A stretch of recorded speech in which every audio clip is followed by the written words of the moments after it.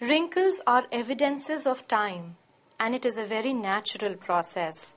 But wrinkles make us look tired and old, and most of us start doing experiments on our skin, which is very wrong. Technically speaking, with age, the skin cells they start dividing more slowly than the inner layer which is called the dermis.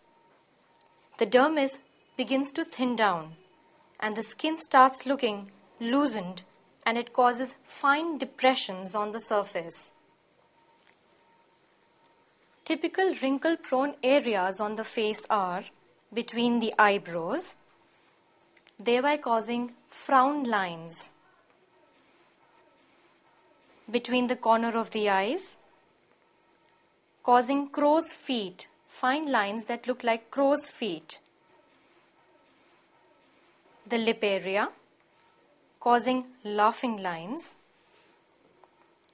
and finally the chin area, which causes a flabby and a double chin look.